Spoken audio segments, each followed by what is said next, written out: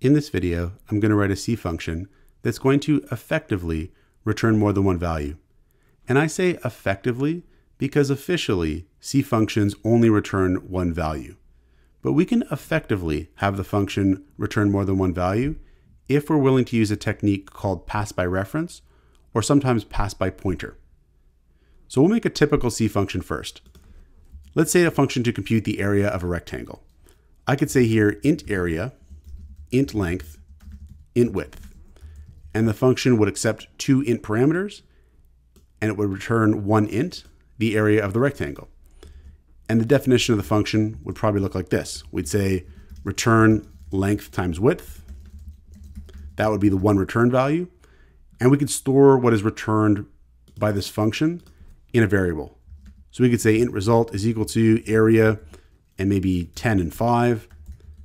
And then we could print out the result. So we could say printf area percent %d and we'll output the result. And if I compile this and run it, we should get an area of 50 and we do. And so this is a typical C function that returns one value. In this case, it's an int, and it's the area of a rectangle. We can't do this in C though. We can't have a function that say returns more than one thing. We just can't do that. C won't let us do that. If you're coming from a language like Python, you might be used to being able to do that, but we can't in C. So how can we effectively do it? So we can effectively do it using a technique called pass by reference or sometimes pass by pointer. And this technique is going to involve using what are called pointer variables. So pointers are variables that store memory addresses. And when we work with memory addresses, we're actually going to be able to alter multiple variables in the main function at once. So let's make a more general function now. We'll make a rectangle computations function that does multiple computations related to rectangles. So it's going to compute the area, and it's also going to compute the perimeter. So we'll say here void rect. So we're going to use void because the function actually isn't going to return anything the conventional way. And we're calling it rect because it's computing multiple things now. And we're going to add a couple more parameters here. And they're going to be pointer variables. We'll say here int star area and int star perimeter. So these variables here, they're not integers. They're actually pointers to integers. What they're going to store is the memory address for an integer value. And we're actually going to pass in the memory address of two variables in main. And that's how we're going to manipulate those values in this function is by having access to their memory addresses. So we'll provide a definition of the function down here. So then next, we're going to create two variables in main for storing the area result and the perimeter result. So we'll say here area result is equal to zero and perimeter result is equal to zero. And when we call this function, we're not going to be doing the traditional thing of assigning its return value to a variable. Instead, we're going to be passing in the memory address of area result and the memory address of perimeter result. And that's going to allow this function to actually change the value of both of these variables here. So I'll say here, rect 10, 5, and then I'm going to say and area result and and perimeter result. And so what we're passing to the function rect here with this and operator being used with this variable here is we're passing the memory address of area result and the memory address of perimeter result. If you're familiar with using scanf in C, you'll notice how scanf will accept arguments in the same way. We'll say and and then the variable name, and scanf is actually able to insert a value into that variable. We're going to use the same technique here. So int star area and int star perimeter, these are not int values.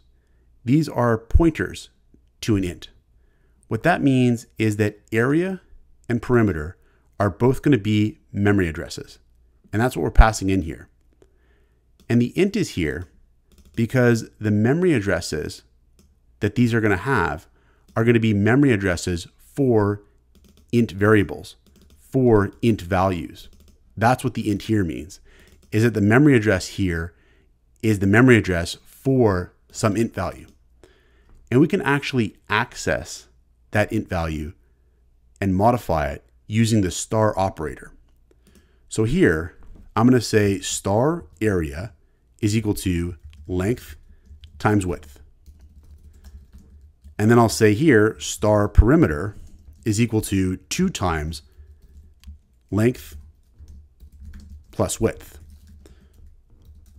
So this here is just the computation for an area, and this here is just the computation for a perimeter. But what this star operator does is very important. Area is really a memory address. Perimeter is really a memory address. And they're the memory address for an int value. What the star says is go access that value. Star perimeter says go access that value at the memory address that perimeter is storing. So in other words, go access perimeter result because perimeter is storing perimeter results memory address. Now this is a whole concept of pointers and pointers can be quite tricky if we really get into them.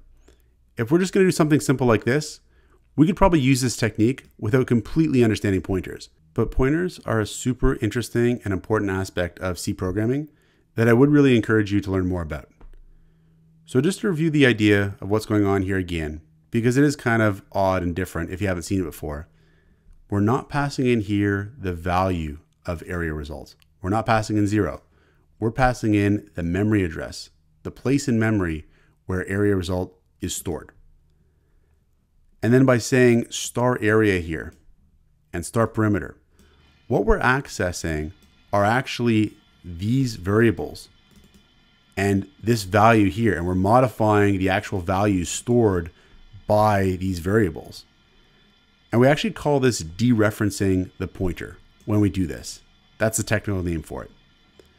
So if we try this out now and we print out the area and perimeter results, we'll see that we get the expected values. So we can output area result and we could output the perimeter result. And for this, we should get 50 and I believe 30. Yeah, so area is 50, perimeter is 30. And we now have a function that is effectively returning two values instead of one. And this technique is called pass by reference or sometimes pass by pointer. Check out portfoliocourses.com, where we'll help you build a portfolio that will impress employers, including courses to help you develop C programming projects.